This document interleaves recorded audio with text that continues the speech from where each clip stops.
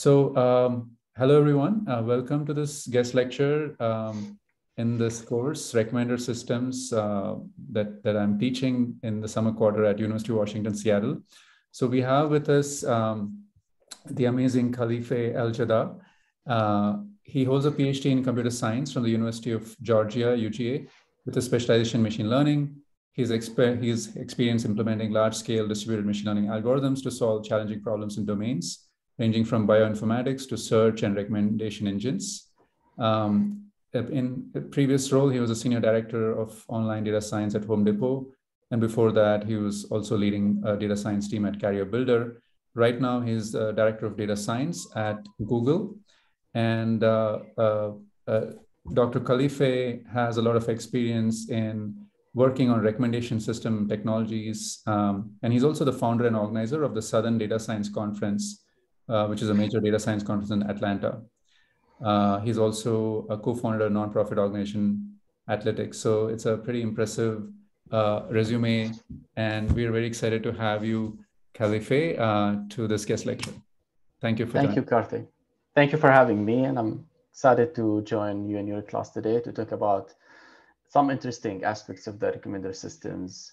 And uh, to start with a disclosure, like all the work I'm going to present today that was done when I was leading the online data science team at Home Depot, which is the fifth largest e-commerce platform in the US. So very interesting use cases there on the recommender systems. And we're gonna talk about some of the uh, uh, interesting solutions that we worked on from the data science perspective to help the customers find what they're looking for uh, in a frictionless experience.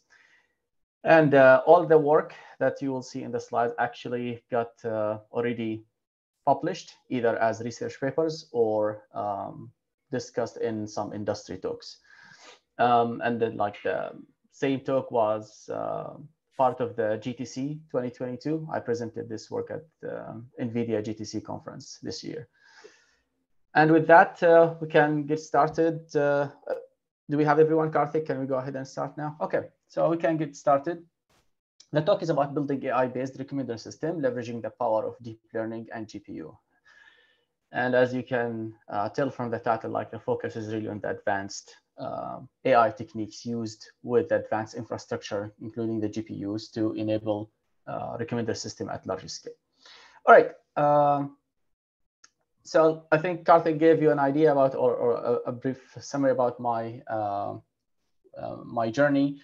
But uh, currently, I'm director of data science at Google. Before that, was senior director of the online data science at Home Depot, um, and I serve I serve as uh, on, on the advisory board of the computer science department at UGA, which is my alma mater, University of Georgia, and uh, on the advisory board of the School of Computer Data Science and Analytics at Kennesaw State University, and I'm proud of being a co-founder of a nonprofit organization, Atlanta Analytics for Community Service, and a proud founder of the Southern Data Science Conference, which was the very first local data science conference in the Atlanta area. Okay, and uh, with that, we can now get to the fun stuff. So when you talk about e-commerce, we talk about a very interesting story of multimodality. So if you go to any product information page on a, on a typical e-commerce website, what you would see is the following. You would see a product image. And you know, this is visual data, right? And then you will see uh, a table that summarizes the important attributes of that product. And that's tabular data, structured data. And then you will also see if the product has different colors, it comes in different colors, you will see those swatches that shows the different the variation of colors. And that's another aspect of visual data that you have. Then when you scroll down, you will see a lot of customer reviews and ratings. And that's another like text data that you have. And then you have the product title and description, another piece of text data. And then behind the scene, you have all the actions, the click stream data, what the customer clicked on, the uh, add to cart, you know, the, the, the purchase, all of those like customer behavioral data. So if you take all these modalities in the that you have in the e-commerce, it becomes like obvious that you have a very rich domain of data assets. And in order to build a strong recommender system, someone needs really to think deep on how to leverage all these data assets that you have to solve different customer needs through recommender systems. And that's what we're going to focus on in this talk today. It's really like you will see different problems, different aspects of recommender systems or, or, or, uh, or parts of the recommender system that you build to solve different customer problems and, and, and to satisfy different customer needs. And this is something really interesting. When I moved from Career Builder, which is like a, recruit, a recruitment uh, domain, um, to the e-commerce, I was surprised because when, when I was working in the recruitment domain, mainly you have to solve for kind of two types of problem. Either a recruiter is trying to find the right job seekers, the right candidates. So you need to recommend the right candidate based on the job posting for the recruiter. And on the other hand, if the job seekers on the website, you need to recommend the right jobs to the job seeker that satisfy their need, right? So that's kind of the two types of recommendations that you build. But when you come to the e-commerce, then you find like a wide range of needs. It's not just two types of recommendations. And we're gonna see like those uh, some of those types today in, in the talk. So if you go to the next slide, and we're gonna start with this very interesting problem that we in the home improvement industry when I was at Home Depot face, which is sometimes people come to the website and they're shopping for table lamp or sofa or carpet. They find something that they like. And now the question, how should you help them find all the similar items that you have in the catalog without them going and searching for those items individually on the website. So basically what you want to what you want to do is the problem that we try to solve here, a customer likes something visually. So they like maybe the the look, the color, the color finishing, the style of the item. And they would like now to find all the similar ones, the visually similar ones on the catalog. So they can actually expand their um, expand their, their, their horizon and they can find a wide range of items that they can shop from instead of just single item. And this work was published, part of, the, of this work was published at uh, a workshop at KDD 21 under the title, the paper title is Scalable Framework for Product Image Classification Applied to Home Improvement E-Commerce. Cool, let's move to the next slide. All right, so here's an example from Home Depot website.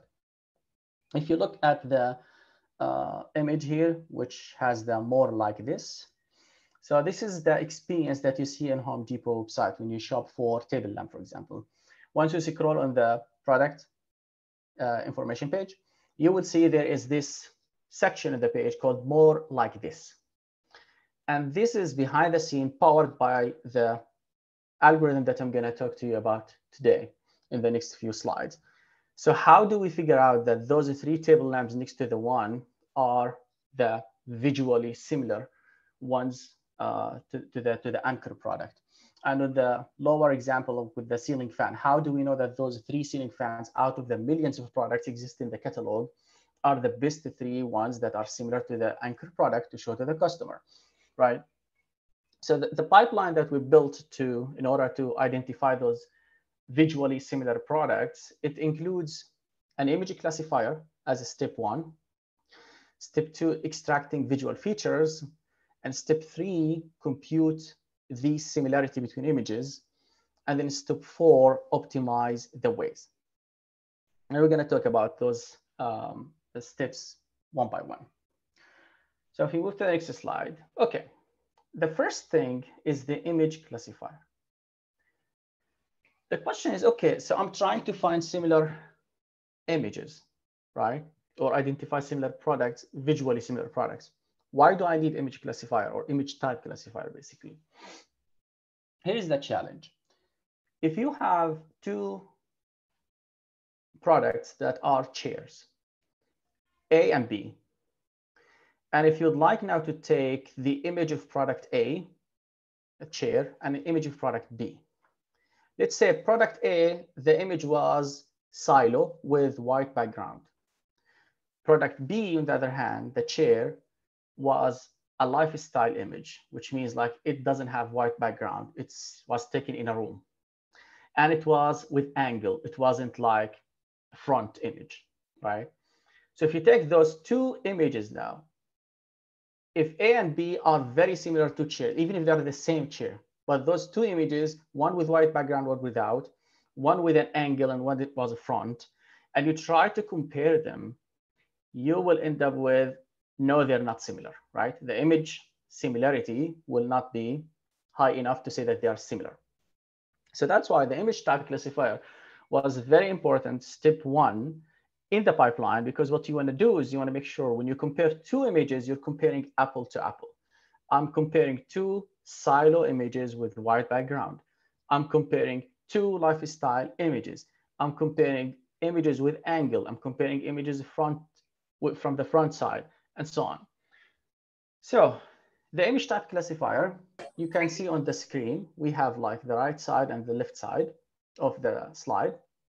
On the right side, we're showing you behind the scene, the training pipeline, how the training pipeline look like. So we used absolutely human to label the similar images, first of all, to, to generate training data. And then we created an ontology. We're going to talk about that ontology shortly. And that ontology is, is there to serve the purpose of how many different image type classes do we have. And we're going to see like how many, there are really many of them. And then after that, you train a model. And then after you train the model and you validate and test, then it comes to, is the classifier now strong enough or not? And if, if the classifier is not strong enough, then you need to retrain it with more examples. And that's where the active learning comes into the picture, where we do the offline evaluation. And if the classifier is not strong enough, then we label more examples and we try to train the classifier again. And so on until we reach the level which we are satisfied with in, in accuracy. The left-hand side, though, is what do we do in the production? How do we use this classi those classifiers after we train them? So basically, you get an input image, you send it to the uh, image type classifier, the ITC production pipeline.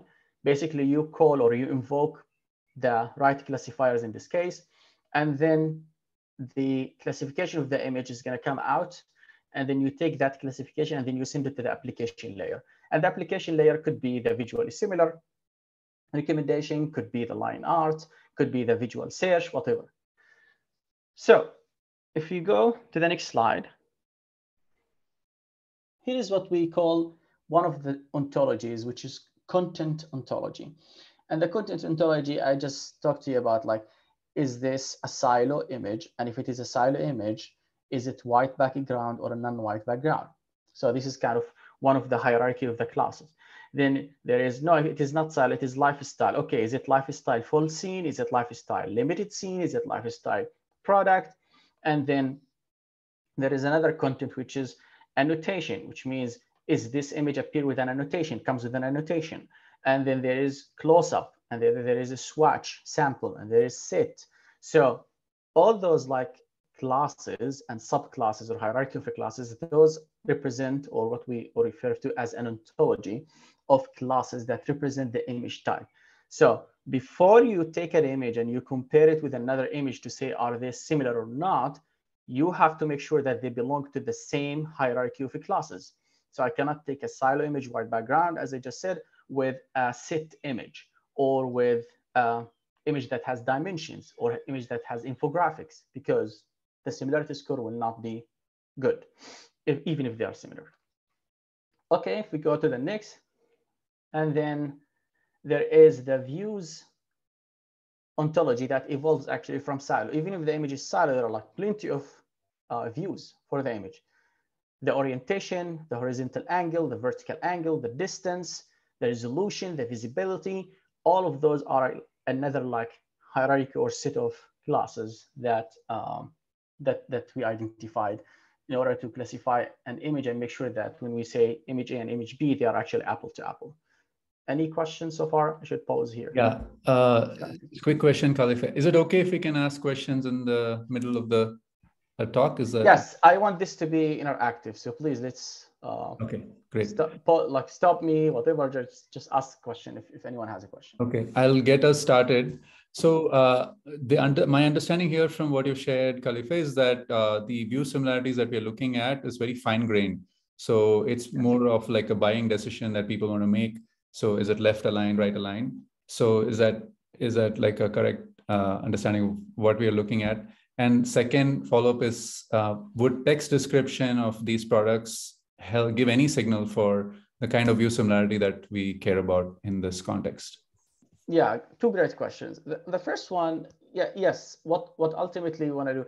It's not about what people are looking for. It's about uh, if the product image that's appear on the website is the image, for example, that was taken from distance, then when I need to when I need to identify what are the other similar products that I should show as recommendation, I need to take that view into consideration and look at what are the other products that have a distance view to measure similarity. Because if I take a close-up image and I try to measure to uh, measure its similarity with a distance image, they will not look the same from the uh, embedding perspective when we come to the extracting features. So that's that's the whole idea is here is that the ontologies, the view ontologies and the content ontologies, they try to identify how typical are the images from the content and view perspective in order to be sent to measure similarity between them. So before we go measure similarity prerequisite, they need to be typical from the view perspective and from the content perspective.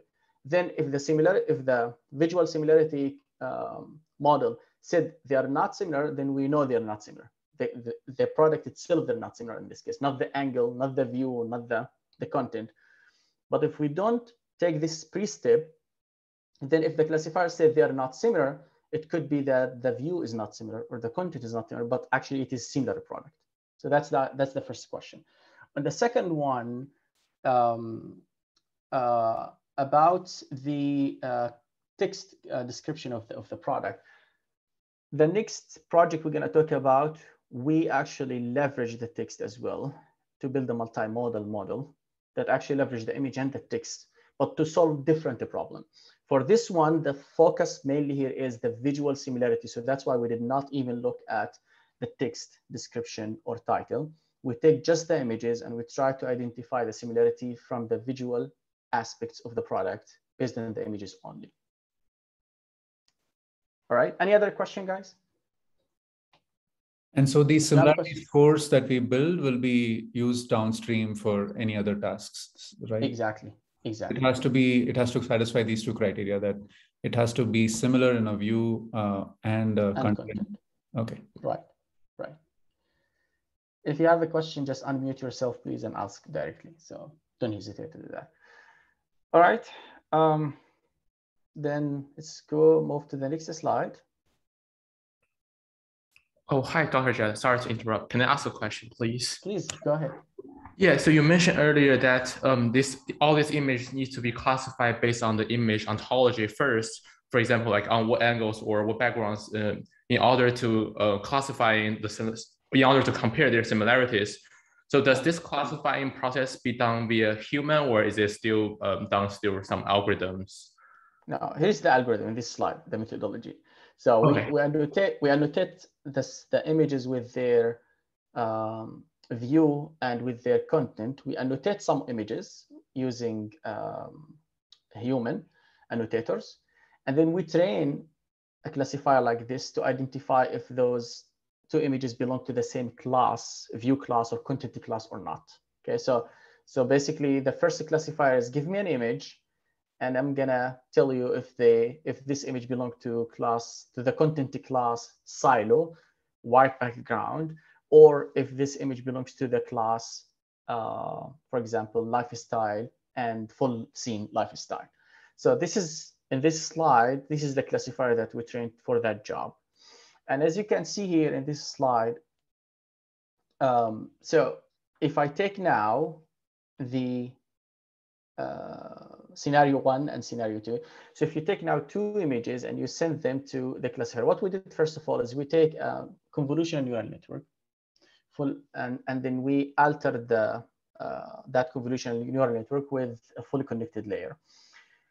So that's what like you know, this is now like the, the best practice in the industry is you don't reinvent the wheel. You don't train everything from scratch. You take pre-trained model and what you do is basically you kind of alter that or you, you, you make some uh, changes to uh, at some of the advanced layers in the network to do your, the task that you're looking for.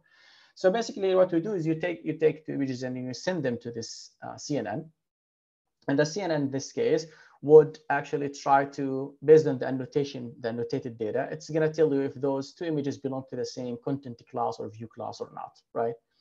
But then what we figure out, for example, is that the uh, representation of the image that comes from the CNN, sometimes it is struggle and it can be much uh, or it can receive so much help if we basically enrich it with features from traditional computer vision. For example, the, um, the percentage of the white uh, color in the image. That, that, that helps a lot, for example, identify if there is white background or not, right? And it is like some of those standard traditional computer vision, uh, the distance from the edge and things like that. So what we did in this case, it's you have the convolution neural network there, sitting there, but in, on top of that, actually, we also added another um, uh, traditional computer vision features that we enrich and then the outcome of the convolutional neural network and the new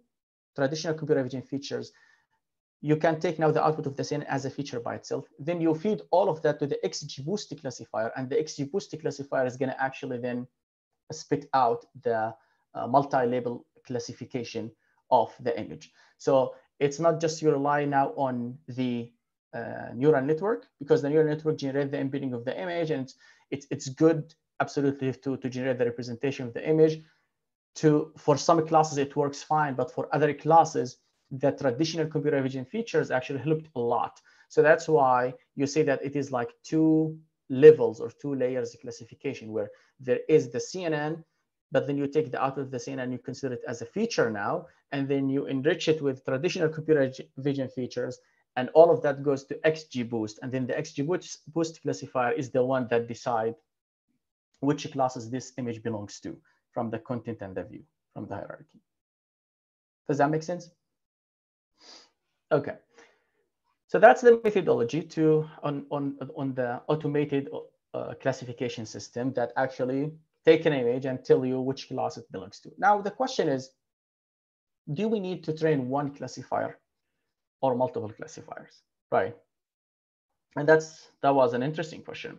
And the answer was, for some generic classes like silo lifestyle, all the products usually have those two classes. So you can train a generic classifier for those two classes that can take a, a product from any category, from appliances, from furniture, uh, from the lighting, from ceiling fan, any category.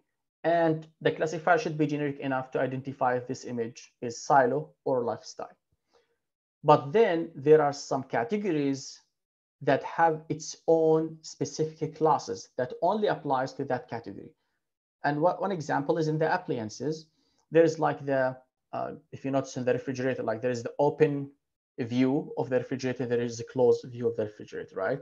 When the doors are open of the refrigerator and they're closed. So this class only applies to the refrigerator. So I don't need to bother train a generic classifier for the power tools for that class, open or closed, because there is no images on the power tools that are gonna come with that type, right?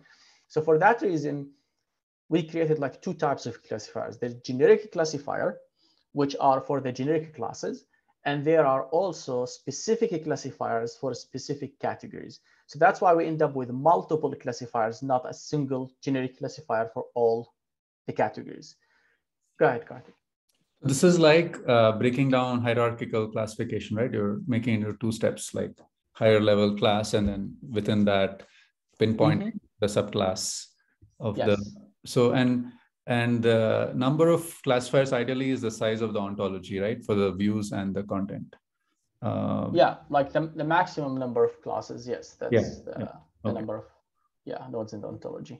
But that would yep. be that you may not have enough data for all of those. So you break it down into these steps and uh, yep. kind of top-down approach to narrowing Top-down down. approach. Yeah, great. Exactly, exactly. And we're gonna see like some examples in the next slides, like how does that work? So if we move to the next slide, here you see this is an example of like how we apply active learning to improve.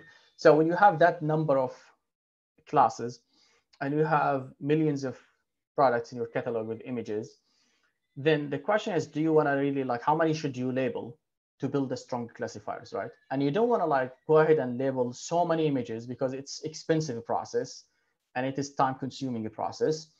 So you don't want to spend a lot of money labeling or annotating so many images. if those images at the end actually will will not um, like maybe after 1000 images or 10,000 images, you will reach the level of accuracy that you're happy with. So why would you go and annotate 100,000 images, right? So that's kind of the benefit of thinking on the active learning approach, where you start with a small set of annotated data, you train classifier, and then that classifier, you basically send it unlabeled data and you try to classify those unlabeled data or, images with that classifier.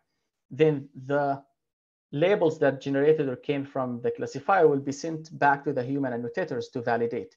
And once they validate, they will identify the ones that are wrong. And then you know where the classifier struggle. Does it struggle with the, with the uh, silo images, with the lifestyle images? And for that class, then you annotate more images. And then you send the, the, the training data plus the new examples again to train a new version of the classifier.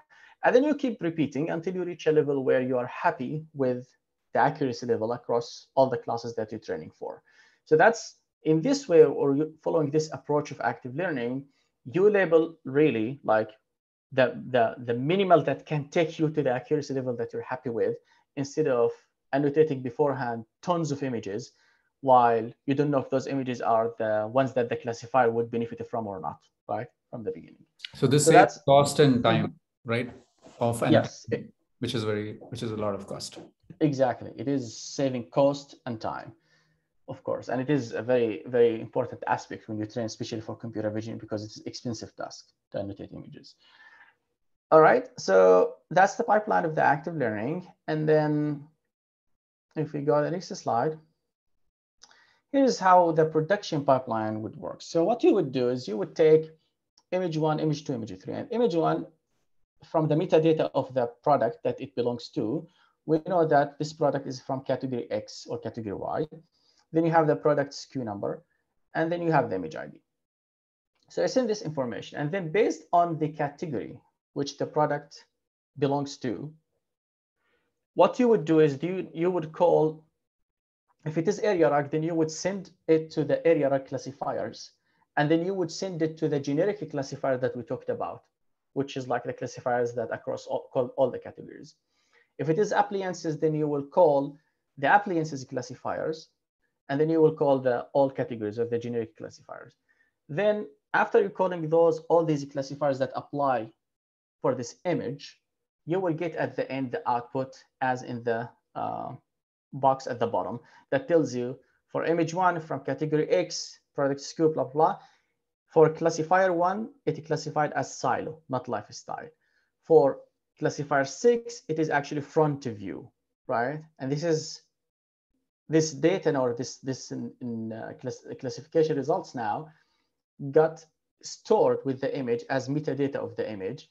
And then what happened then in the downstream applications, if any application would like now to, to know what content and what view is this image from, they can basically go to this uh, database and retrieve the classification because it's already it's batch batch processed. It's not like in real time. It's batch processed, and the image now has the, this metadata.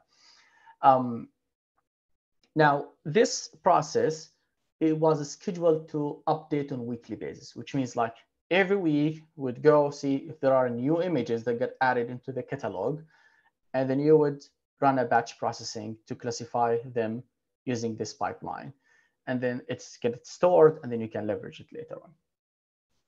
All right, now if you go, move to the next slide. So quick uh, question. Uh, sure. It, so it's so this looks doesn't look like multi-class. It looks like one, multiple one versus all. Is that is my understanding correct on the top level categories? I think it's it's multi-label. Multi-label. Uh, yeah, multi-label classifier. Okay. Yeah. And here is the, after you identify which class the images belong to, as we said, now from that database, which has image X is a front, is silo from category A, then image B is from category A, it is a front, it is silo. Then now I can take those two images who have the same view, the same content, right? But I don't know if they are the same product or not, or similar products. And then I come to measure the similarity. And measuring the similarity here means, okay, I need now to extract the visual features of the image. And in order to do that, you take the image of the product. And again, in our case, we were always looking for if there is a silo white background product, those tends to be the best in order to extract the visual features.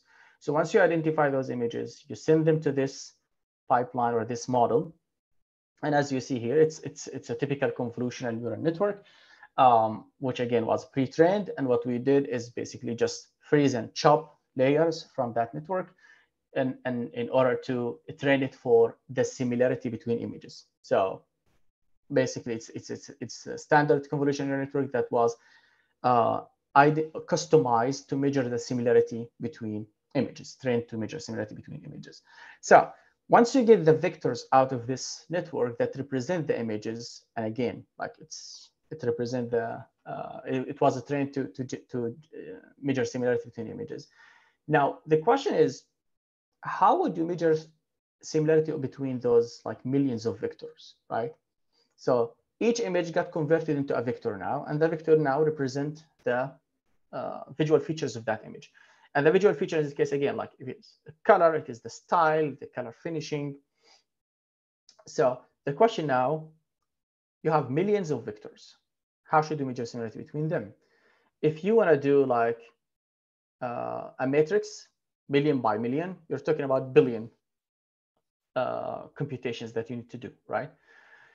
So what should what did we do? If we move to the next slide, in order to do to run that KNN process k-nearest neighbor at larger scale between the query vector of, uh, of image and a pool of other images in order to know which ones are similar to it, we actually looked at different approximate KNN algorithm or libraries that was open sourced.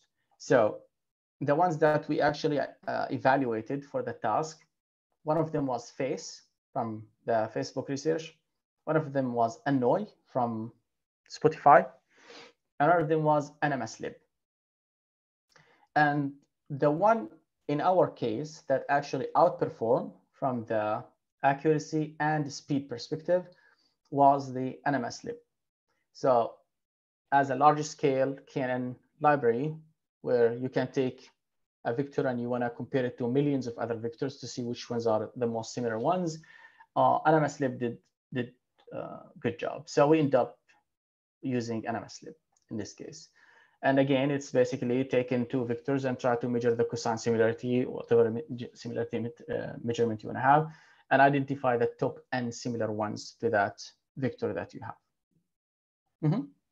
How frequently do we need to make this computation? Um, like, uh, I guess, uh, you know, based on the frequency of uh, embeddings being updated, right? But just curious for Home Depot.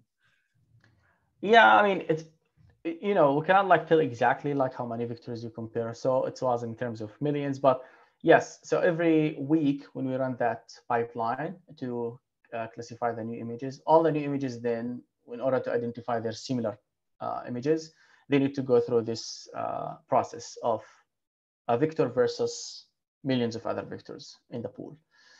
So, but, but, but the old images are, I mean, the, the ones that we already have similarities for, we keep it as it is for some time, right? And update it yes, yes. less frequently. Right, right, right, right. I think it was like you need to be pragmatic in this case. So if you have enough recommendation for a product A, then maybe you don't need to worry much about updating the recommendation frequently. But if I have product B and I don't have enough recommendation from the previous batches, then I would go and pick pro product B in this case and see after I added the new images if I can add, enrich the recommendation, have more recommendation available for product B. So if the product already have enough recommendations from a previous run, uh, previous batch processing, I don't worry about updating those on a weekly basis. Maybe I would wait for two weeks before I update them. But if I have a product that doesn't have, then as soon as I have new images available, I would run the process for that product to see if I can identify more recommendations. Any other question? Okay, cool. And by the way, like for for uh, before we go to this, about talking about the same, um, like uh, computing the similarity. Uh, for some of the use cases, you have to do this in real time. And we're going to talk about one of those use cases in, in the next slides. For some use cases, you have to do this in real time. While, while the um, user is in the session and you have a vector representation, now you need to find the similar products in real time. And then you need to run this one versus million of vectors similarity or KNN process in real time, which means in, in less than 30 milliseconds, you need to come up with an answer of what are the similar vectors that represent the products similar to this product or complement products to this product in real time. And we're going to talk about uh, an interesting uh, example in, in the next slides. But for that reason, like NMS NMSLib was okay for the batch processing, but when it came to the real-time ones, there was a lot of uh, hiccups there. And the engineers needed to do a lot of work in order to scale it up to run in real time. So it's not like uh, an easy task to do in real time. So is caching not a solution uh, from a, like not having to compute? Caching it, caching helps, but but um, for example, one example could be like on the um, visual search. So on visual search, when the customer upload an image and you want to now find uh, similar products to that image, to satisfy to, to answer the visual search question. In this case, you're barely gonna find the same image uploaded by two customers. So in this case, caching will not be very helpful. So you have to run it in real time every time, most in most cases. All right, and then, yeah, this is the second example or use case I want to walk you guys through. And it is interesting. This is uh, uh, an example of what Karthik asked uh, earlier, which is how to combine text and images in order to um, to find similar products. But in this case, we're not looking for just visually similar products. We're going to look now at the problem we're trying to solve. It's called collection recommendations. This paper was published in uh, the RecSys conference, ACM RecSys 2019 in Copenhagen. And the paper title was product collection recommendations based on transaction data. So if we move to the next slide, so what is the definition of a collection in, uh, in the home improvement? Let's say you're shopping for um, to renovate your bathroom or your kitchen. And you like this faucet that we put as current product in the box. Now, when you like this faucet, if you are again working on a bathroom renovation project, in a bathroom renovation project, you're not buying just this faucet. You want to buy everything that complete the look in your bathroom, which means you need also the towel bar, the towel ring, the shower head, the shower knob that actually match the style and the color and the color finishing of the anchor product. So I'm not here looking for similar faucets. I'm looking for complementary products that complement the function of this faucet to complete the look of my bathroom. That's like the why it's different now problem and different use case. It's not I need similar products. So what I need, I need harmony between those uh, products altogether, but they do different function. They are different products from different categories, but I want them to have harmony between them. They have similar style, color, color finishing, thing like that. And that's what we refer to as a collection. So if you think about this problem now, we have two things to think about. First of all, how should I identify those products that should form a collection? Which means, how should I know that if someone is looking for a faucet, I should also consider showing them shower head, shower knob, towel bar and towel ring. based on a bathroom faucet. Someone needs to come up with that knowledge. Either a human needs to come tell the computer that if someone's shopping for a faucet, you need to show them the towel bar, the towel ring, and the shower head and the shower knob. Or we need to extract that from the customer behavioral data. And that's what we actually did. So the paper, um, that's why it was talking about transactional data. What we did is we looked at the purchase patterns of the customers. And we figured out like when, when people shop for this product, in this case faucet, what are the other products from other categories that usually they shop for?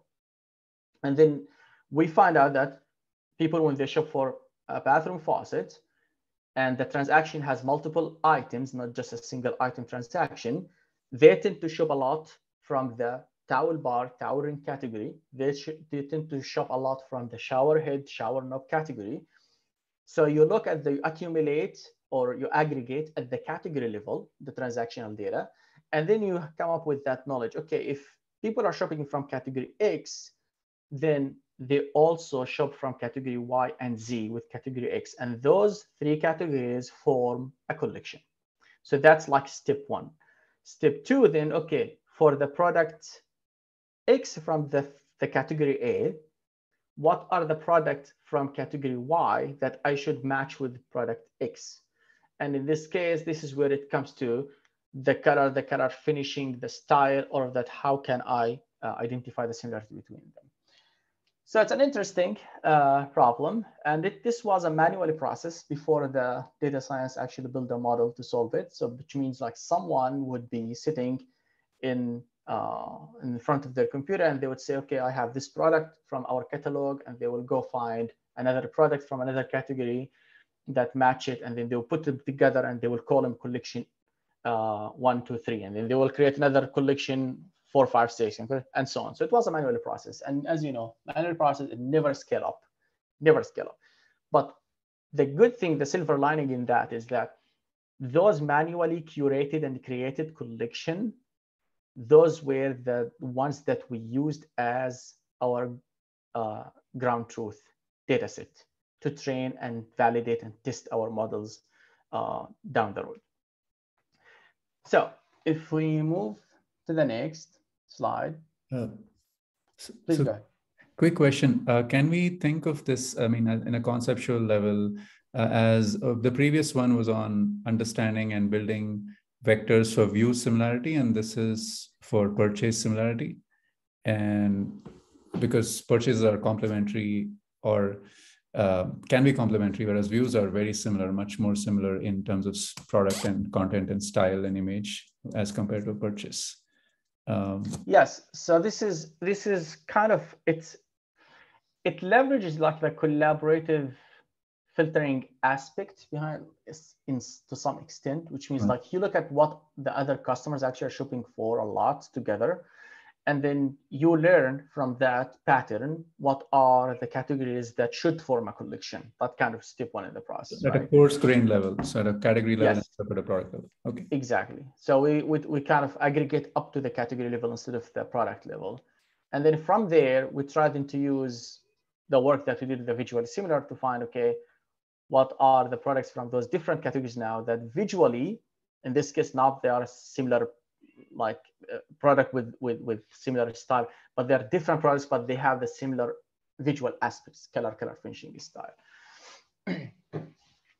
All right, and uh, I, okay, so here's like what the definition that uh, collection is, is uh, what we try to do is now we try to find out, okay, how can we identify like the uh, visual similarity in this case because they're not the same product. They're different products. And we figured out that relying on the images only was not the best solution. Some items or some uh, keywords mentioned in the description and the title sometimes helped in describing how this product looked like.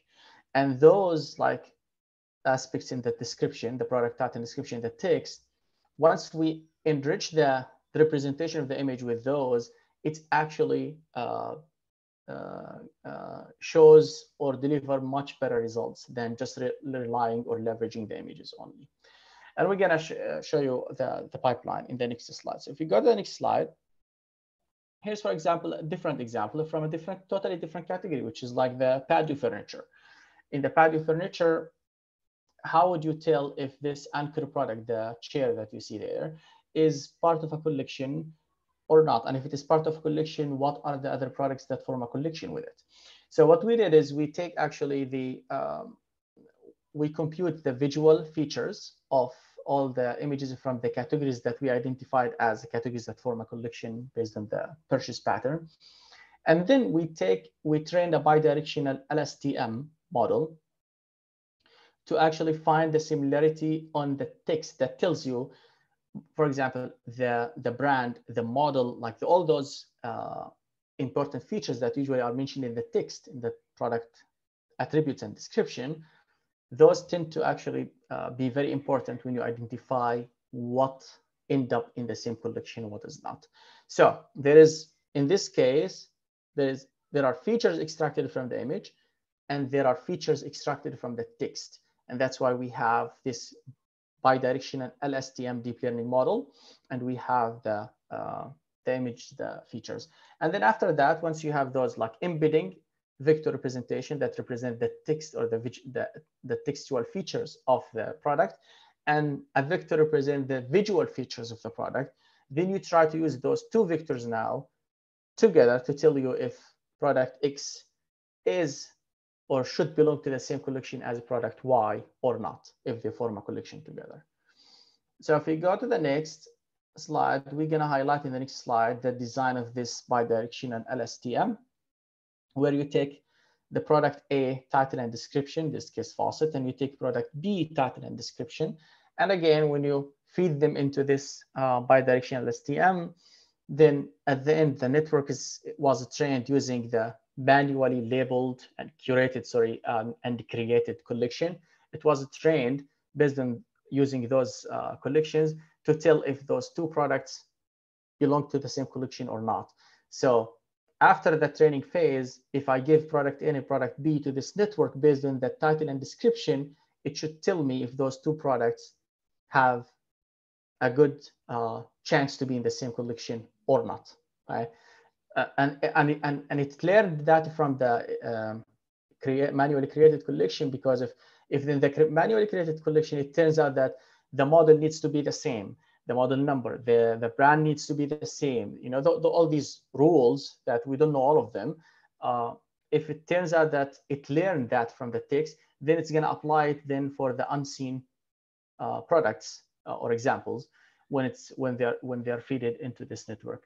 So this is the part that actually generate the text similarity between the two different products in order to know if they should form a collection or not. And then if we move next to know to how we extracted, this, this is interesting because this work was done before we built the visual similarity.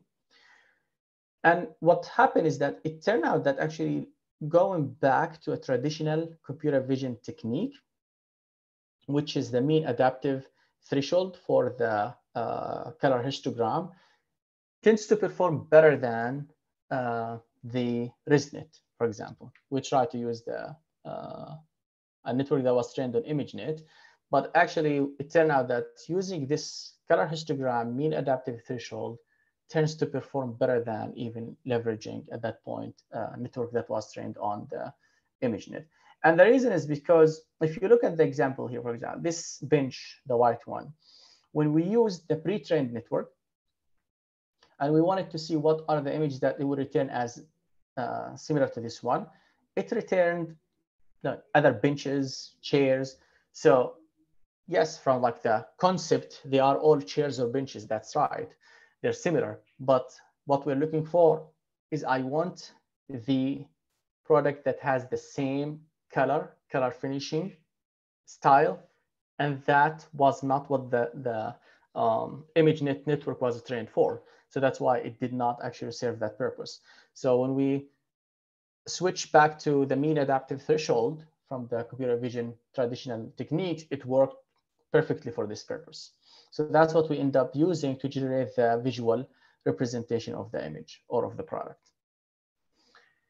All right, so if we move to the next slide, this is this shows you from the research paper that we published um, the difference between using the visual features only versus visual plastics, the multimodal learning. And you can see like the, the blue, which is the visual features only. If you only rely on the images to identify the collections, you're not getting uh, as good results as when you use both visual embeddings and text embedding, which was an interesting finding uh, from this work as well. And then if we go to the next slide, this is an example of how we combine the scores, similarity score between the visual representation and the text representation.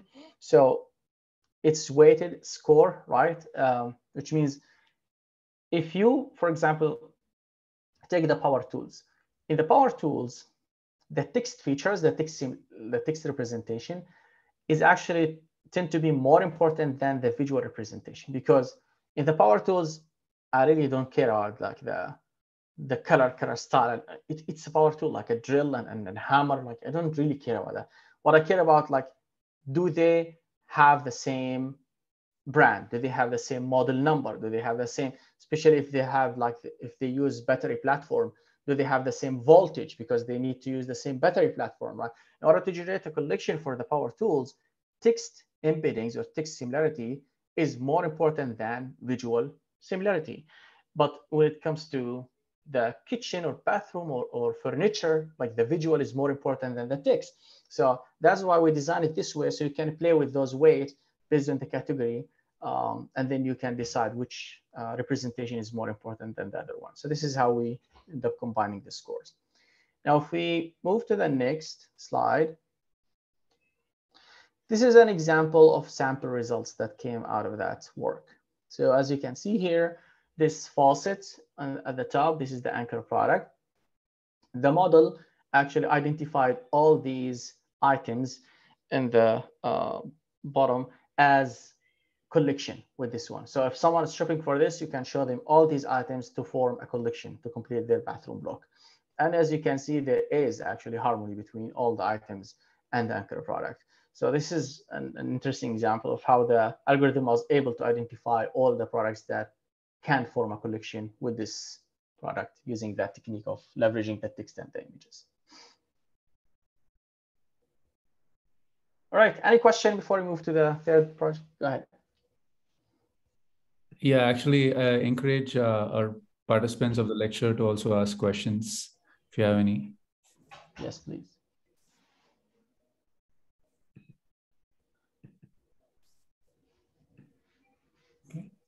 So one uh, one question that I just had uh, from the first section was when you were combining um, the uh, uh the traditional computer vision features with uh, deep learning features.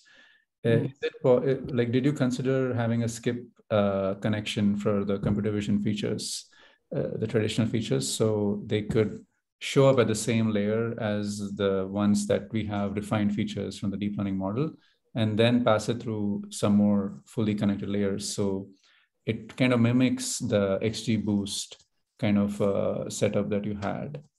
Uh, yeah, that's that's interesting. I don't think we we've tried that or considered that, but that's that that could work. Yeah, that's a very interesting idea.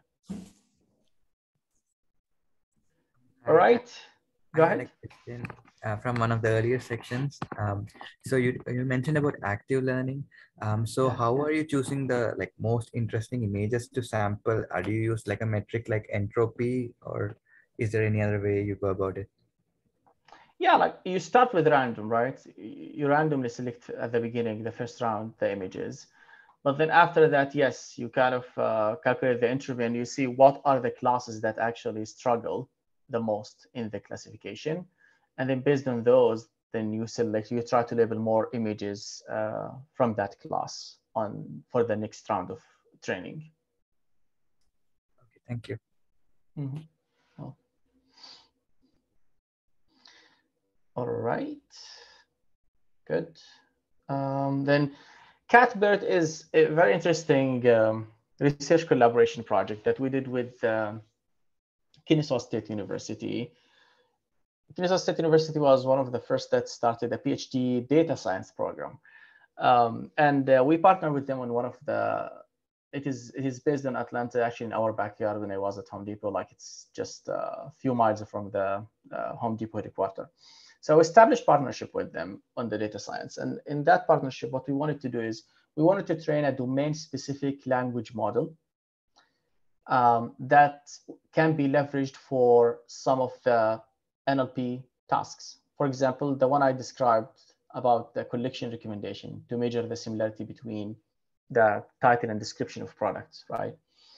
Uh, uh, if we try to use BERT, the generic BERT, um, the, the, the, the hypothesis was that like BERT is great, but when you have domain specific jargon and, and knowledge, then you need a domain specific language model. And that was a hypothesis. We wanted to test it and see does it is it true that if you have a, a domain that has its own uh, you know jargon and, and, and its own uh, terms and terminology, is it better to have a domain specific language model? So this is cat BERT, which is catalog. Basically, cat refers to the catalog. Catalog BERT, which is like the, for the for any e-commerce, like when they have a catalog of products. All if you take all the job of all the products titles and description, and you train a domain-specific language model, what should you expect? So if we uh, move to the next slide, you will see that this is not like uh, uh, this is nothing new to anyone that the pre-trained language models uh, made a lot of like um, many breakthroughs. Um, ELMo or BERT, like they, they, they really like uh, uh, transformed the way that we think of how NLP how NLP should work and and, and made like outstanding progress in in the NLP tasks. And it is because of that, like because uh, due to its simplicity and superior performance over the other models, BERT has emerged as the very powerful technique, which everyone, if you mention NLP in front of anyone, the first model they would recommend, like go use BERT. Well, okay, great. But if you move to the next slide, some domains actually prove that if you train domain-specific BERT language model, it can actually outperform BERT. And we have like SciBERT, which is the biomedical and computer science literature corpus. It was trained on that, and it, it is like a, a domain-specific language model. Uh, FinBERT, a domain-specific language model for financial services uh, text.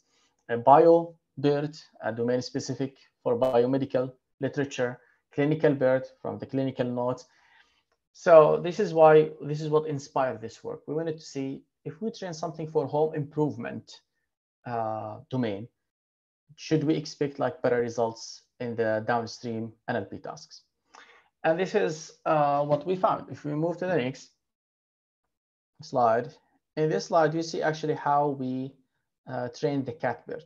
So we have in, if you take like the um, product information page, again, if you take the title uh, of, of a product, you will see that it's like a semi-structured like data, which means like there's like tags. Here's the ID of the product. Here's the title, right? Here is the brand. Here's the uh, L1 category. Here's the L2 category. Here's the L3 category. So you can think about it as like a, a, a semi-structured data as XML, right? So given that, what we wanted to do is we wanted to incrementally train the BERT model, domain specific mo uh, BERT model by, okay, I'm gonna start with training on, uh, if we move to the next slide, it's better to, to show with the example. So it is. So what I wanna do is, okay, let's start with taking the product title and train the V0 of the cat BERT. Then after that, take that model and then train that model incrementally now on the product brands. So it learned the representation of titles. Then after that, you enrich it with the brands, and then you train the same model again, and you generate version one of that model. Then you take that version one, and then you train it again using now the product taxonomy, L1, L2, L3. So you incrementally like in, introducing new kind of vocabulary based on the, the uh, tag to the BERT model and you generate a new model and then you train it incrementally on the next thing and you train it and, and then you see which uh, every time you introduce a new kind of knowledge or a new vocabulary to the BERT model, you see how it improved the performance of the model. So if we move to the next slide, here are some of the uh, results that was published in that research paper. So it turns out that yes, you can tell from the numbers here that every time you introduce a new vocabulary, if you look at the uh, yellow column here, column one. So when you just introduce the product title, the accuracy is 63%, the precision at K, uh, precision at, at one in this case. And then version one, it is after you introduce, after the title, you introduce the brand, it's 68%. 1.1 didn't help much. 1.2 after you introduce, I think the uh, category, which is the L1 category, it become like the accuracy 75%. And then if, if you introduce the category level two, it becomes 70, 77% and so on. So it proved that if you train it in an incremental way, which means like you start with the basic knowledge, then you start to enrich the knowledge with a more with more uh, structured knowledge down the road, it keeps improving the model. And if you compare these results with the result of the typical with the generic BERT, the original BERT model, you see that the, gener the general BERT model actually, the maximum accuracy it reached was 71% precision at one, while here we're talking about 77% using the domain specific. So it proved the two hypotheses, which is domain specific outperform the generic BERT. That's, that's one thing. And the second thing is that the incremental training is actually benefiting the model. The model gets trained or, or, or learned faster, if you like, introduce semi-structured knowledge into the model in an incremental way. Um, so this model that was trained here, as I said, that was like uh, published earlier this year, this work. So the, the plan is that this model will be then used for the downstream NLP tasks, similar to the one that we just described with the collection recommendations. Instead of using the LSTM to measure the uh, similarity between product A and product B title and description, you're gonna use now this CatBERT to measure the similarity between those two products. And that's, um, that's one use case. Other use cases on the search side, if you take, generate the embeddings of the query and you want to match it with the products that match the query, then generating the embeddings using CatBERT is, is uh, uh, supposed to perform better than using the uh, BERT or any other language model. Any question? Mm -hmm. Sorry, uh, basic clarification. What's the training, a typical training example look like for CatBERT? Um, oh, it's uh, it's it's basically the um, that's similar to XML that we showed you, right? And then what you try to do is you try then to uh, predict like the, the rest of the title, or you try to predict the rest of the description of the product, you know? So you take away some words from the description and then you try to complete them. Mm -hmm. Any other question? All right, let's move forward. All right, this is the interesting work which um, I described at the beginning about where do you need real-time KNN? And this is an example of where do you need real-time KNN recommendation, session-based recommendation. So if you move to the next slide, just one slide about this because this was um, still like uh, a project under development, um, but it'll get published now. So this, this work was inspired by a paper that was published at NeurIPS 2017 by Vaswani and others. Here, what, what you want to do is when customer come into the website, they start shopping, for example, and they looked at a faucet. Then after the faucet, they moved to look at uh, another kitchen faucet. And then after that, they moved and looked at the power tool. And after that, they moved from the power tool and they looked at tiles, right? So this sequence of actions that happen in the, uh, in the session, how can we learn from the sequence of actions that happen in the session? So when a next when the when the when the new customer when a new customer comes to the website and start looking for faucet, then in the recommendation of that informa- product information page, we should learn like okay, based on the sequence that we have seen in the past, most likely the customer is going to look after that to a kitchen faucet. And then after the kitchen faucet, most likely going to look at. So basically, you try to predict what is the next item which the customer to look at in the session, right? Now, what you want to do is you want to then try to be uh, kind of helpful by showing the customer what they should what they should look at next as a recommendation, you know, and then this is not just for uh, for, for one use case, but there are many others. For example, when the customer leave the website, let's say the customer purchased a faucet and they left the website. To re-engage them in order to come back via recommendation emails, when you send them a recommendation email, what should you put in that recommendation email?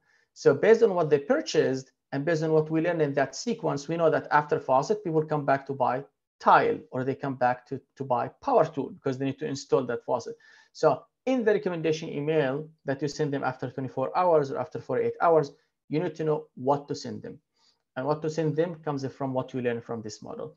So in the real time use case, while the customer in the session, if you detect the customer at any point in their session, based on their pattern of what they already viewed as of now, you need to predict what is next and you need to show them that as a recommendation. On the offline mode, after the customer leaves the website, you need to use that model to predict what they must like most likely come back to purchase. And then you send them that as a recommendation email, you know? So those are like the use cases of this model. And it is very interesting uh, model and very complicated one um, that actually uh, required a lot of, uh, of uh, tuning to the to the uh, deep learning models in order to work that way. But this is the idea of this uh, of this uh, session-based recommendation, and that's where we said like, if this is the case, you let's say you generated the embeddings of the first three actions of the session, and you have now a vector that represents those first three actions, which in this case means like the first three products the customer viewed in the session. Now take that vector representation you need now to know which products you should recommend as a next, right? From this network. So now you need to take that vector and you need to do KNN against millions of products you have in your catalog to know which product you should show as a recommendation next. And that needs to happen in real time. That's where the KNN real time become crucial. And that's why like the NMSLIB as is will not work this way because it takes longer than the time needed for real time. And you have to find uh, uh, other libraries that work for real time. But yeah, but, but this is an example of where you have to apply KNN in real time for the session-based recommendation. Any question about this work?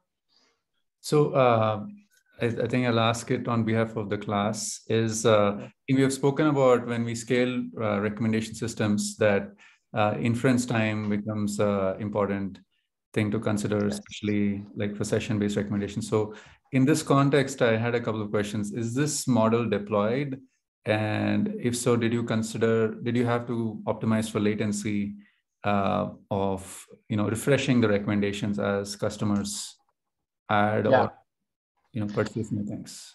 Yes, I can tell you like designing the model was probably not as complicated as deploying the model because deploying the model was the real challenging part because you have to tune it to make sure that it the inference happen in, in, as I said, like less than 30, 35 milliseconds.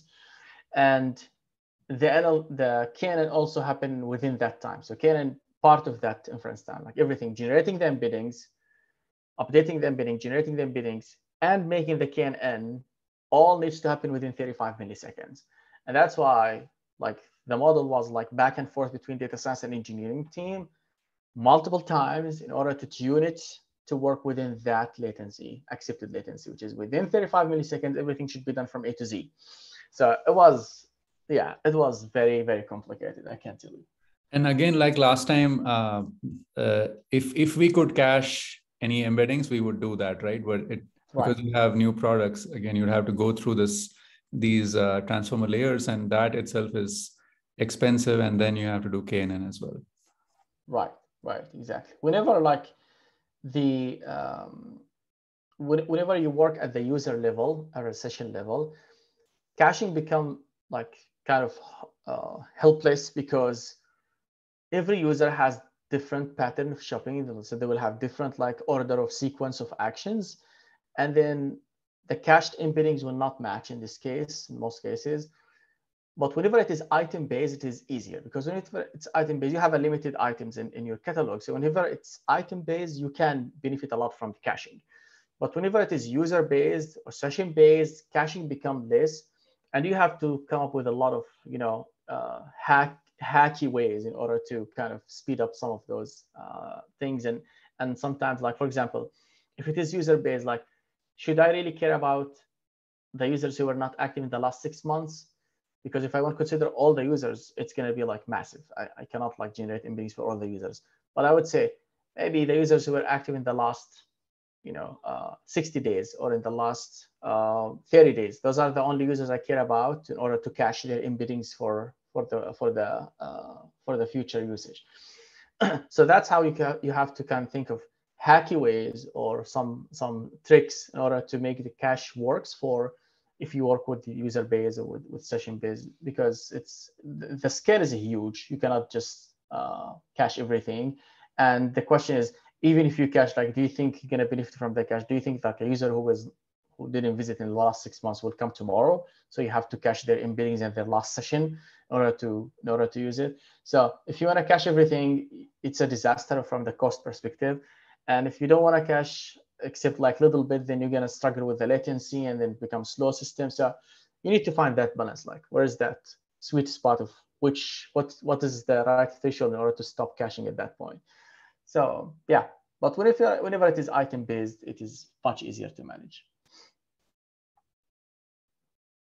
Um, excuse me, um, Dr. Khalifeh, uh, I have a question regarding the uh, uh, this diagram. Uh, like, what is the difference between like the T1, T2, and like the rest of the uh, number of T's? Because I see that T1 and T2, uh, like T1, it passes through like the transformer encoder, but it doesn't links the item to the pooling. And like T2, it passes directly by the transform encoder and goes directly to the pooling. And uh, while the rest, they like follow a sequence that like going through the encoder and then going to the pooling. So I was wondering if there's like uh like a specific difference of like the first two uh tiers of uh, like this diagram. That's a great question. And unfortunately, I'm not really sure why oh. that was uh, designed this way. But um, there's in from the logic perspective of the model itself, there shouldn't be any difference. All the items are the similar. So the first item needs to be embedded, and then you take it and then you enrich it with the embeddings of the second item. So the two items now generate, you kind of combine them either averaging or or concatenating and you generate the, the embeddings that represent both of them now. And then same thing with the update with when you see the third item, you update the vector now with the embeddings of the third item by averaging that and have one vector. So at any point, you should have one vector that represents all the previous items that you viewed in the session. And then what you try to do is to predict what are the next items that the, that the customers most likely will engage with or interact with. But if it is not, if it is confusing here and how we, uh, how it is depicted in this image, uh, maybe uh, it's just based on how the arrows appear in the slide or things. But yeah, I'm not sure if there is a reason for that. Oh no, uh, yeah, your, your explanation was very clear. Uh, appreciate it, Dr. Khalifeh. Sure. Yeah, Maybe it's it's about when you increment a new product, then how do you transform the embedding? I think if you already know which products you want to embed then it's easy just pass it through the transformer yeah. but already had an embedding then how do you append it or uh, change yeah. it right? That's the incremental aspect. Yep. Could be. All right. Now to the shoppable images. Shoppable images basically the idea here is um, again, this is paper that was published at WACV 2021 under the title Visually Comparable Home Decor Recommendation Using Object Detection and Product Matching. So if we go to just to show you the example in, in real life, like what, how, what do we mean by shoppable images? So if you are on the Home Depot app, for example, and you look at um, this image of uh, this picture of a room that has a chair, that has a lamp, that has a, um, an end table or, or a cabin, and you like really some of those products in the image. The question is, instead of going and trying to search for those products by describing how what is the product, with a shoppable image, what you what you do is basically you can just click on the product in the image that you like, and we're to show you the products that we have in the catalog that actually match the product that you see in the image. Okay. So you basically take a lifestyle image or, or a scene image and you convert that into a shoppable image by making the products within that image become clickable and shoppable, which means once you click on it, you can see the products that match it in the catalog and you can buy or purchase or shop for those products. Now, how to do that? That's the question. It is kind of a two phases process. In the first phase, you need to detect the products within the image that actually represent a product that exists in the catalog. So if we move to the next slide, and that's what we refer to as the object detection, right? So you need to detect the objects in the image. And then if we move to the next slide, yeah. Exactly. So what you do here is you try to detect the image from within the scene, the products from within the scene.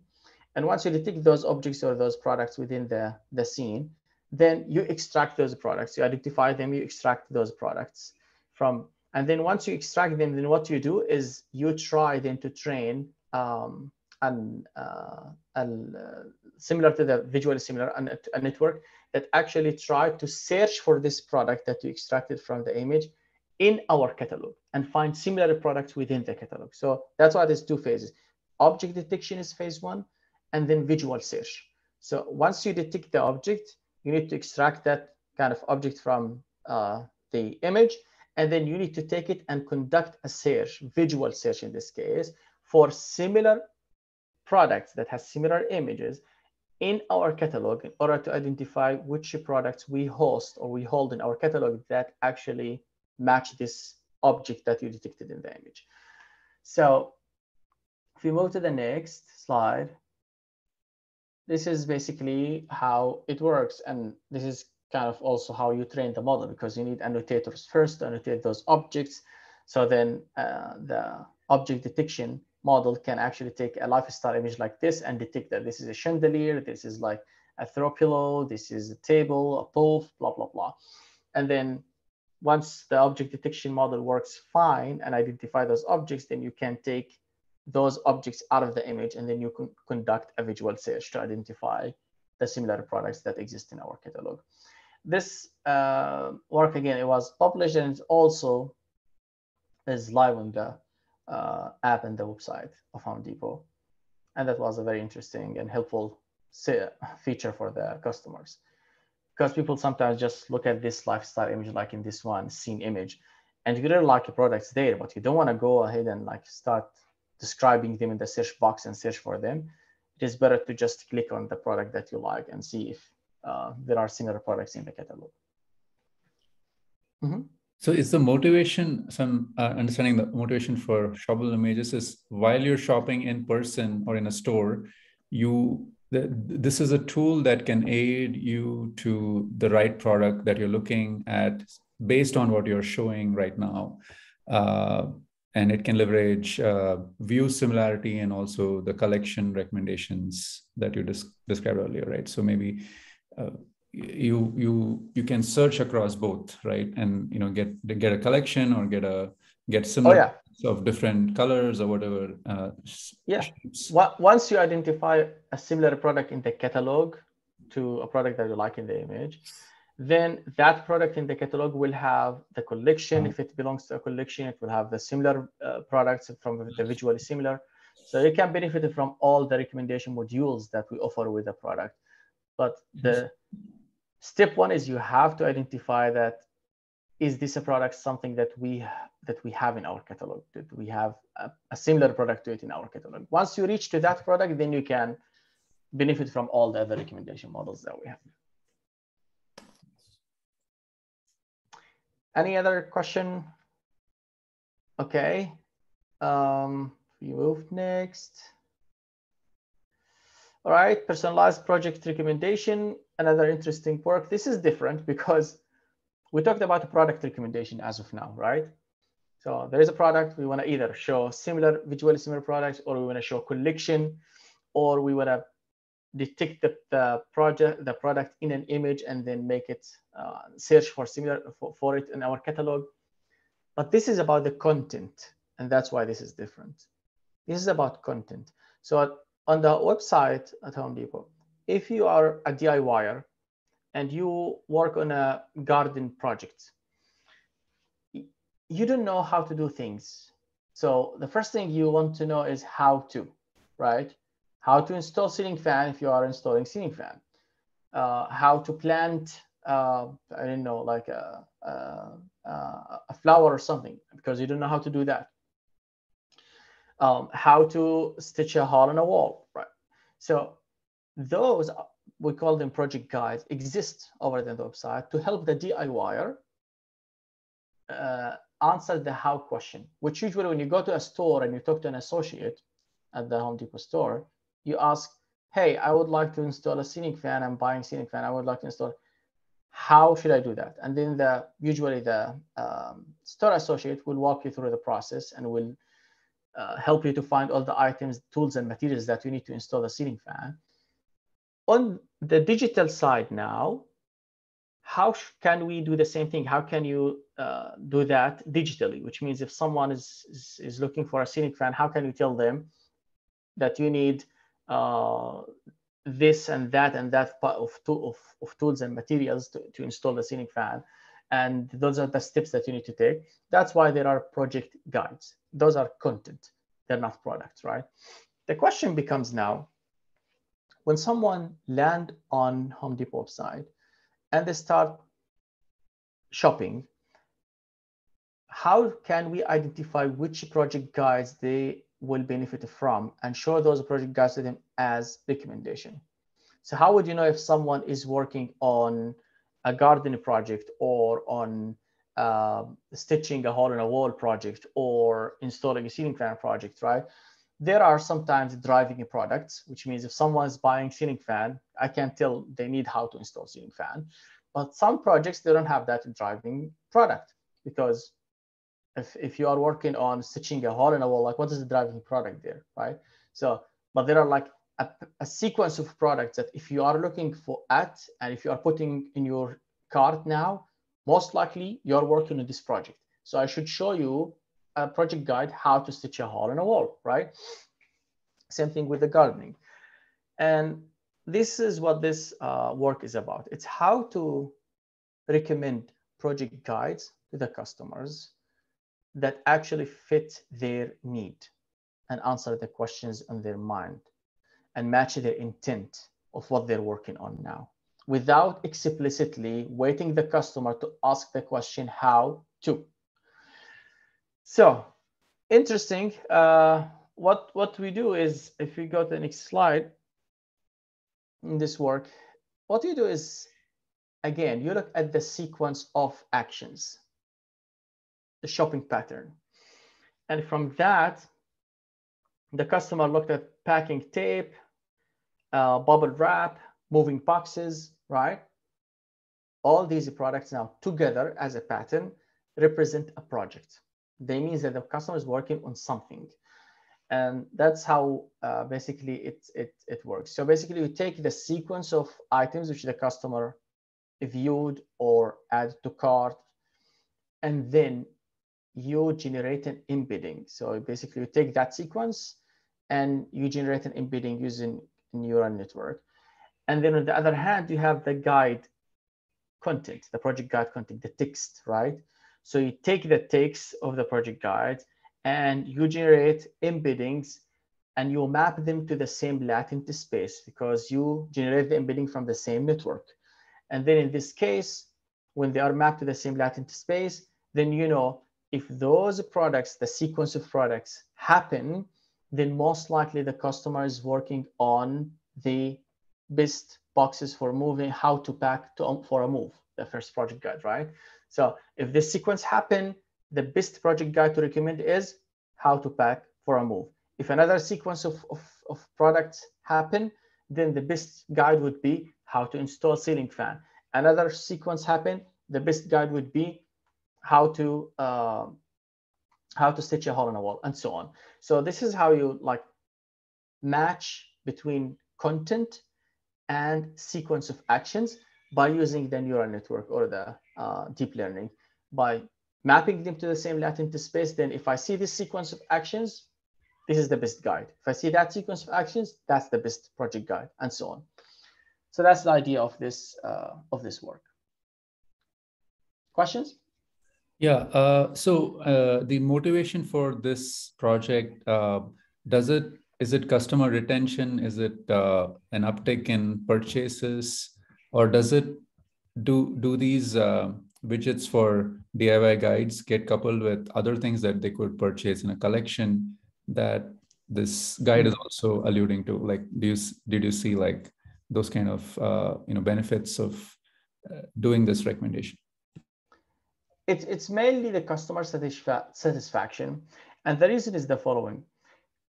DIYers, when they usually go shop uh, for a project, they tend to do multiple visits to the store or multiple orders because they figure out after they start working the project that they forgot something, right? And all of us face the same problem, I think, when we start to work on any uh, project at home. So you go purchase uh, the packing tape and then you figure out oh we forgot the bubble wrap. Then you go back to bring the bubble wrap or you order the bubble wrap. And then you bring it and you figure out oh we don't have moving boxes and you have to order moving boxes. This is as simple as this for the moving stuff. But when it comes to the other project bigger project it is worse. It become a, a very big problem. So for the customer satisfaction this project guide recommendation came into the picture because customers when we figure out they're working a project they don't know that Home Depot actually has project guides. Many people don't know Home Depot has project guides. So the idea here was that once we identify that there is a project going on when the customer starts shopping, we want to show them the project guide recommendation. So they, oh my, oh wow, so Home Depot has the how-to. So they click on the how-to, and in the how-to, the project guide tells them what tools and materials they need to complete the project. So in this case, they will learn about what they need and they will learn about the difficulty level of the project before they actually you know, get trapped into the project. If it is, for example, a difficult and big project. So the project guide is very informative. It tells you how difficult is the project. Is it for beginner, intermediate, advanced DIYers? It tells you the estimated time to complete the project. It gives you the tools and materials that you need. Very, very informative, uh, uh, very informative guides. So that's why its mainly focus was focused on the customer satisfaction to make sure the customers actually get all the information they need, get everything they need in less number of visits, as this as possible number of visits to the store or or or uh, online. So that was the whole idea of this. Any other question? All right. Uh, last but not least, I know we uh, we're reaching the end of the time, but product review summarization, this is uh, something different. Again, this was published um, as uh, at, at, the SIGIR 20, one of the, the ecom workshop there. Um, and if, if we want to summarize here, what happened is that we have thousands of customer reviews on for each product. The question was, okay, well, when the customer come to a product page, I don't think any of us would like to go and read thousands of reviews in order to know what is good and what is bad about the product, right? We don't have time for that. Um, so what this project is was about is can we take all the reviews about the product and summarize the pros and cons that were mentioned in those reviews, right? So using the sentiment analysis, you know the pro, the positive and negative feedback, but then out of that, you need to know what is the aspect which the customer was talking positively or negatively about in this product. If it is a refrigerator, people were talking positively about the space, how spacious is this refrigerator. But people were talking negatively about reliability of this refrigerator. It's, it's, it is not reliable, it broke down, blah, blah, blah, right? So you need to highlight what is positive and what is negative and summarize that to the user instead of waiting the user to go skim across thousands of reviews in order to extract that piece of knowledge. So that's the idea of this project. And if we go to the, quickly, we're gonna just look at, uh, those are some statistics about the number of reviews and sentences in, in those reviews in different categories. Um, if we go next, so this is basically what uh, like the aspect extraction workflow look like. So you start with the review text, uh, the, the review from the customer, and then you try to identify the explicit aspect, and then you identify implicit aspect, and then you take the semantic merging, and then you mapping corresponding implicit and explicit aspects, and then you run the sentiment analysis on top of that, and then you know this aspect people talk positively about it, or this aspect people talk negatively about it. And then if we move next, this is kind of uh, an, the aspect merging, how it's done. It is semantic clustering using the uh, open source uh, library, uh, open source algorithm use from Google, the universal sentence encoder, and then the explicit aspect mapping using WordNet. So this is how you identify the aspects. And then if we move next, again, uh, what we used to do the sentiment analysis, as you see, one version of BERT was used here, RoBERTa. Um, so gated RoBERTa generated the best results compared to the other uh, versions of RoBERTa. Um, and then where I want to go is basically, if we go next, this is how it appears in production. So if you go to the customer reviews, uh, you will see that um, pros, if you see the uh, at the bottom of the image, pros, you see that people talking pros about installation, about design, about the price, about cleanup. Cons, people were talking negatively about the door of this uh, microwave, GE microwave, for example. So this is basically summarized to the customer what is good, what's and what's bad about the product instead of going through all the reviews in an automated way. And once we uh, put those, the engagement with the customer reviews with this with this summarization increased 16% by 16%, which was great improvement. All right, that's all I have to share with you all guys for today. I hope you enjoyed the talk. And um, if you have more questions, we have still a few minutes. Please feel free to ask the questions.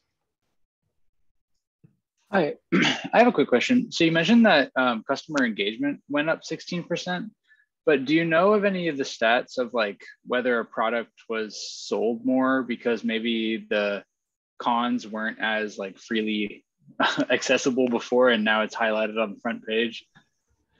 Um, I don't think we as data science would look at that. Probably the product team would look at that uh, not us, but yeah, I'm, I'm not uh, aware that we have done such analysis to see if uh, showing the pros and cons impacted. However, I think if the there was a negative impact on the uh, on the sales or or on the revenue in general, those things usually like get uh, flagged early enough and we could have been noticed that there is something going on wrong that impacted negatively the revenue. So I assume there is no negative impact for sure, but if there is positive impact on the revenue, blah, blah, blah, then um, uh, I'm not aware of that.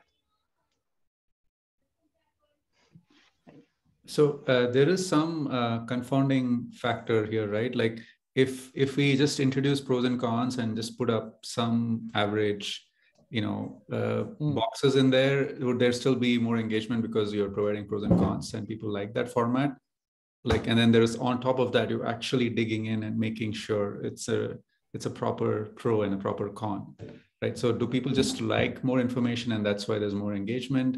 Uh, i mean th- that's a confounding factor right? I mean just uh... yeah right right. Yeah i think again like the measurement of before and after the engagement was basically just to see uh, showing additional information like the pros and cons in a in, in, in a clean way where you tell the customer exactly what are the pros and cons. Does do, do we think the customer care or not or they don't care? Right mm-hmm. customers does do the customers care or not? Actually the customers actually care because once you share them additional uh, piece of information they actually engage with that additional piece of information. So that was like the the, the whole idea of measuring the impact before and after. No i'm just saying like uh, if i mean we use a summarize you use summarization model to actually understand mm-hmm. and you know have the tags also appropriate. But if you just put in some you know some other uh, simpler model but had these had, had this pros and cons kind of a setup would you still have had more engagement? Because people yeah, just like more information. Right right right. That's a good question good question. Yep. But but uh, yeah obviously this probably made a lot of uh, sense for them so. Right right.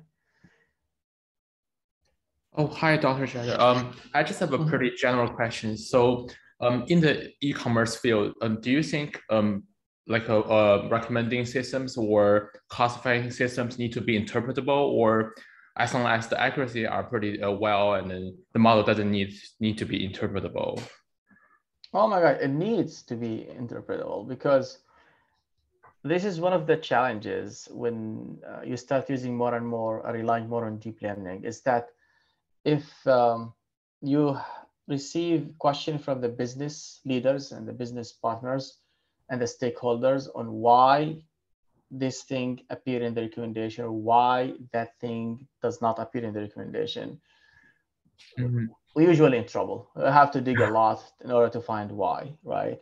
So if you build interpretable models, those are those discussions become much easier. And I can tell you, those discussions happen a lot. Believe me, a lot, because especially in, in the e-commerce, like I don't know if you guys know about all the kind of uh, of, of the hierarchy with, within the uh, retailers, but there are like category uh, managers and there are like merchants and the, those people like they are in charge of specific products in specific categories. And if their product is not selling well online they come to you. They come after you after the people who implemented the search or the recommender system to find out why my product is not showing up in the recommendation why my product is not showing up in the search results in the first page or in the second page or you know? So mm-hmm. a lot a lot of pressure on the teams that work on search and recommendation because those as you know like the the most uh, the most powerful uh, interfaces or systems in the online business that drive sales and revenue. And for, for many of those people, like those two things always questionable, like why the product, my product is not showing on the first page, why my product is not showing me the recommendation. So you have to have answers. So if your models are not interpretable, you are in trouble because, because then you have to go dig and find out why the deep learning actually dropped this and they didn't show that or show that and did not show that. So it's it's it's it's much better to build something interpretable. Got it. But sometimes I feel like, for example, the deep learning model like LSTM, sometimes it is hard to interpret what layers represent what. So so yes. and the models you showed just before, I think is uh, very complicated. And then but are those deep learning models interpretable, you know, in just general sense, but not from like a data scientist um, view? Not yet. I can't tell you. That's what I'm saying. Like we, we, we faced a lot of trouble uh, after introducing those deep learning models to answer many of those questions about like why the product X showing, why product Y is not showing.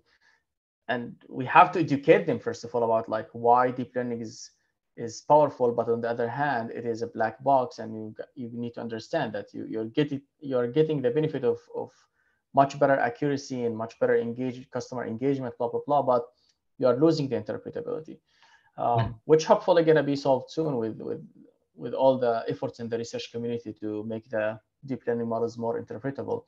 But you have to work on educating the business leaders and the business partners on why we cannot interpret the results when we use deep learning. Thank you so much for answering. Mm-hmm.